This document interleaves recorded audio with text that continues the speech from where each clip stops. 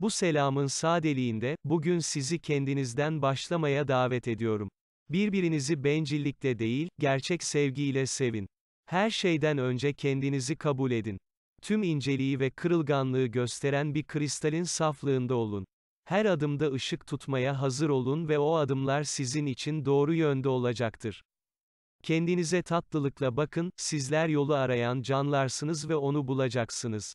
Yeter ki cesaret edecek, sevecek ve bağışlayacak cesaretiniz olsun.